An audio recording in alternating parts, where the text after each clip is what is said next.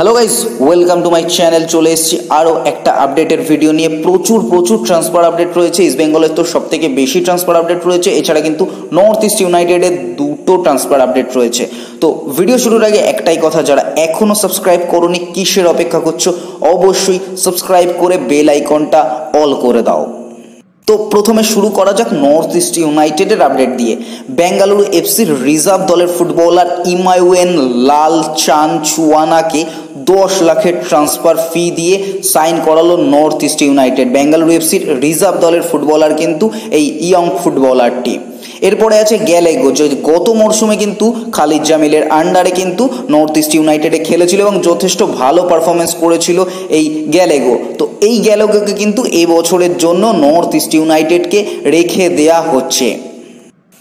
তো এবার চলে আসি এসসি ইস্ট বেঙ্গলের ট্রান্সফার আপডেটে তো গতকাল রাতে কিন্তু আমরা জানিয়েছিলাম অমরজিৎ সিং এবং জ্যাকি চাঁদ সিংয়ের যে ট্রান্সফার আপডেটটা, সেটা কিন্তু রাত্রিবেলায় ভিডিও বানিয়ে জানিয়েছিলাম। তো তারপরে কিন্তু আরও কিছু আপডেট বেরিয়ে এসছে, এবার রাত হয়ে গেছিল বলে আপডেটগুলো মানে দেয়া হয়নি। সেই জন্য কিন্তু এখন পুরো ডিটেলসে সেই নিয়ে ভিডিওটা বানিয়ে দিচ্ছি। তো অমরজিৎ সিং এবং জ্যাকি চাঁদ সিং কিন্তু প্রায় মোটামুটি অলমোস্ট ডিল ডান হয়ে গেছে। আজকে কিন্তু প্রত্যেকটা ট্রান্সফার আপডেট কিন্তু চলে আসবে। অফিসিয়াল সাইনিংয়ের আপডেটগুলো কিন্তু ইস্টবেঙ্গলের বিভিন্ন পেজগুলোতে দিয়ে দেয়া হবে আজ থেকেই। সেটা তোমরা এস ইস্ট বেঙ্গলের ফেসবুক পেজ হোক বা ইনস্টাগ্রাম পেজ হোক বা টুইটার হোক, সব জায়গায় কিন্তু দিয়ে দেয়া হবে। তো গতকাল রাতে কিন্তু আরও একটা খবর বেরিয়ে এসেছিল, যেটা হলো শুভ ঘোষের সঙ্গেও কিন্তু কথাবার্তা চালাচ্ছে এস ইস্ট বেঙ্গল ম্যানেজমেন্ট এবং যথেষ্ট অ্যাডভান্স লেভেলে কথাবার্তা চলছে। এবার দেখা যাক শুভ ঘোষকে কতটা কি রাজি করাতে পারে। তারপরে আসছে কিন্তু আইজলের ইয়ং ডিফেন্ডার ভান লাল জুনিকার সাথেও কিন্তু কথাবার্তা চালাচ্ছে এসসি ইস্ট বেঙ্গল। এর সাথে কিন্তু কেরালা ব্লাস্টার্সও কথাবার্তা চালাই চালাচ্ছে। আর দুটো ক্লাবের মধ্যে কিন্তু এসসি ইস্ট বেঙ্গল অনেকটা এগিয়ে রয়েছে এই প্লেয়ারটাকে নেওয়ার ক্ষেত্রে। ইয়ং ডিফেন্ডার কিন্তু আইজলের দারুণ পারফরমেন্স আছে আই লিগে। এছাড়া কিন্তু গতবার ইস্টবেঙ্গলে খেলার রাজু গাইকোয়াড এবং অঙ্কিত মুখার্জি, এরা দুজন কিন্তু লাল হলুদের সাথে চুক্তি বৃদ্ধি করল। গত বছর কিন্তু রাজু গায়কোয়াড়ও প্রায় মোটামুটি ভালোই ম্যাচ সার্ভিস দিয়েছিল। এছাড়া কিন্তু অঙ্কিত মুখার্জি যথেষ্ট ভালো ফুটবল খেলেছিল। তো সেখান থেকে কিন্তু এই দুজন ফুটবলের সঙ্গে আরও চুক্তি বৃদ্ধি করা হলো এবং এরা যদিও ইস্টবেঙ্গলের জন্য কিন্তু অনেক দিন ওয়েট করেছিল, অন্য, অন্যান্য ক্লাবের অফার থাকলেও কিন্তু এরা এস ইস্ট বেঙ্গলের জন্য অনেক দিন অফার করেছিল। আর এস ইস্ট বেঙ্গল কিন্তু এটা বলে রেখেছিল যে তারা অবশ্যই সাইন করাবে। এই লিস্টে কিন্তু দেবজিৎকে ওয়েট করতে বলেছিল, কিন্তু দেবজিৎ ওয়েট করেনি। যদিও অনেক দিন ওয়েট করেছে। ওয়েট করেনি বললাটা ভুল হয়। অনেক দিন ওয়েট করেছে দেবজিৎ মজুমদার। তো আরও একটা ট্রান্সফার রিউমার কিন্তু বেরিয়ে আসছে, এডমুন্ড রালরেন্ডিকা। ইস্টবেঙ্গলে খেলে গেছে এবং ডার্বি ম্যাচে কিন্তু দারুণ একটা দুর্দান্ত একটা থ্রু পাস বাড়িয়েছিল, যেটা থেকে কিন্তু গোল করেছিল মার্কোস। ইস্টবেঙ্গলের সেই লেজেন্ডারি প্লেয়ার মার্কোস কিন্তু গোল করেছিল ডার্বি ম্যাচে এই এডমুন্ডের বাড়ানো বল থেকে এবং ওই ডার্বি ম্যাচে কিন্তু চোট পেয়ে বাইরে চলে যায়। তারপর ইস্টবেঙ্গলের হয়ে একটি ম্যাচও খেলতে পারিনি এবং তিনি কিন্তু বেঙ্গালুরু এফসি থেকে লোনে আনা হয়েছিল। এই এডমুন্ডের সাথেও কিন্তু কথাবার্তা চালাচ্ছে। এবার দেখা যাক বেঙ্গালুরু এফসি আদেও এডমন্ডকে ছাড়তে রাজি হয় কিনা। কারণ প্রত্যেক বছর কিন্তু এডমন্ডকে প্রথম দলে সুযোগ করে দেওয়ার একটা কথা বলেও কিন্তু প্রথম দলে সুযোগ করে দেয় না। তো সেখান থেকে দেখা যাক বেঙ্গালুরু এফসি ম্যানেজমেন্ট এবার ইস্ট বেঙ্গলের জন্য প্লেয়িং টাইম দেওয়ার জন্য আদেও কি তাকে লোনে ছাড়ে কি না এছাড়াও কিন্তু আজকে হয়তো ইরা হীরা মণ্ডলের যে সাইনিংটা সেটাও কিন্তু আজকে অফিসিয়াল অ্যানাউন্সমেন্ট হয়ে যেতে পারে। অনেকগুলোই অফিসিয়াল অ্যানাউন্সমেন্ট হবে বলে মনে করা হচ্ছে আজকে। তো এই যে টিমটা হচ্ছে, এটা কিন্তু মনে করা হচ্ছে, আমরা কিন্তু অনেকদিন আগে থেকেই বলছিলাম যে ইস্ট বেঙ্গলের মোটামুটি একটা টিম লিস্ট রেডি আছে, শুধু অফিসিয়াল সাইনিংটা হয়ে গেলেই কিন্তু মানে ইনভেস্টর এবং সরি ইস্ট বেঙ্গল ক্লাব এবং শ্রী সিমেন্টের অফিসিয়াল সাইনিংটা হয়ে গেলে কিন্তু ভালো ভালো চমক আসতে পারে।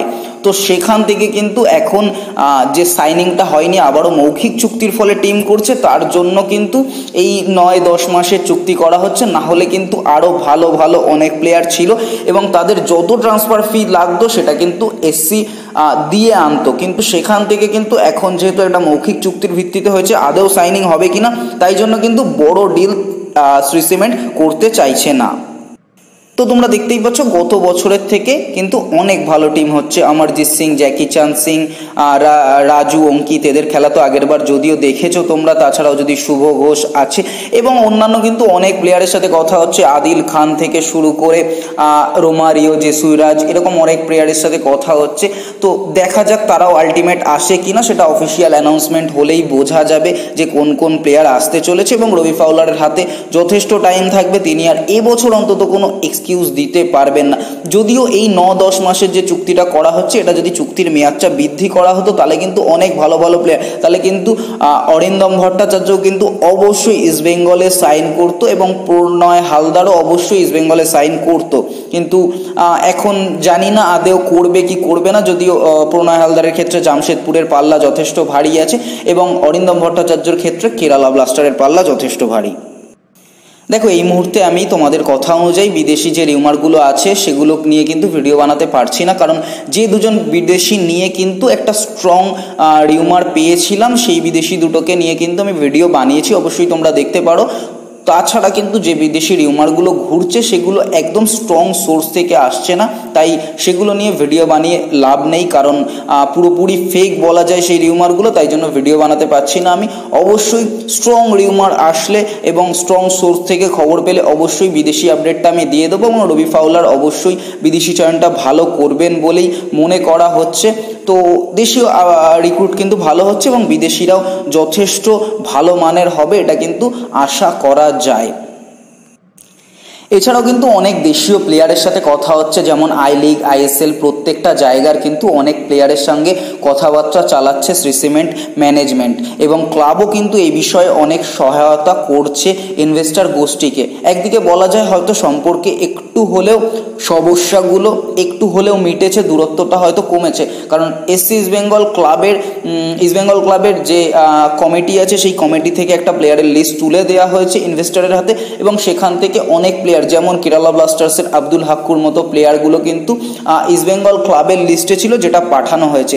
এছাড়াও কিন্তু অনেক প্লেয়ার রয়েছে যারা আই লিগ থেকে এবং সিএফএল থেকে টার্গেট করেছে ইস্ট বেঙ্গল ক্লাব যেটা কিন্তু পাঠিয়েছে শ্রী সিমেন্টের কাছে এবং তাদেরও মোটামুটি দেখে নিচ্ছে। তাদের মধ্যে যদি কেউ আইএসএল এর যোগ্য হয়, তাহলে অবশ্যই তাকে সাইন করাবে শ্রী সিমেন্ট ম্যানেজমেন্ট আমরা আরও একটা জিনিস চাইছি, খুবই মন থেকে চাইছি যে শ্রী সিমেন্ট এবং ইস্টবেঙ্গল ক্লাবের সমস্যাটা যাতে এবছর আইএসএল খেলার আগেই মিটে যায়। তাহলে কিন্তু আরও পরের বছর আইএসএলে অনেক ভালো ভালো প্লেয়ারকে আমরা দেখতে পাবো। কারণ এই পাঁচ দিনের উইন্ডোতে যে প্লেয়ারগুলোকে তুলে আনছে এবং টার্গেট করছে, সেটা কিন্তু অবশ্যই কৃতজ্ঞতার দাবি রাখে এবং শ্রী সিমেন্ট ম্যানেজমেন্ট কিন্তু ইয়ং প্লেয়ারগুলোকে বেশি টার্গেট করছে। এখন লোনে নিচ্ছে, পরে হয়তো যদি এই জিনিসটা হয়তো চলছে, চুক্তি সমস্যা নিয়ে অবশ্যই ভেতরে কাজ চলছে এবং সমস্যা মিটে গেলেই হয়তো এই প্লেয়ারগুলোকে লং টার্মের চুক্তির অফার করবে ট্রান্সফার ফি দিয়ে নিয়ে আসবে।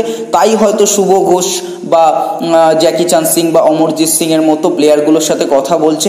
বিশেষ করে কিন্তু ইয়ং প্লেয়ার যেমন আইজলের এই ডিফেন্ডারটা ইনিও কিন্তু young player Edmund Lalrindika Shubho Ghosh Amarjit Singh এই প্লেয়ারগুলো কিন্তু ইয়ং প্লেয়ার এবং ইয়ং প্লেয়ারগুলোকে হয়তো এই জন্যেই টার্গেট করছে।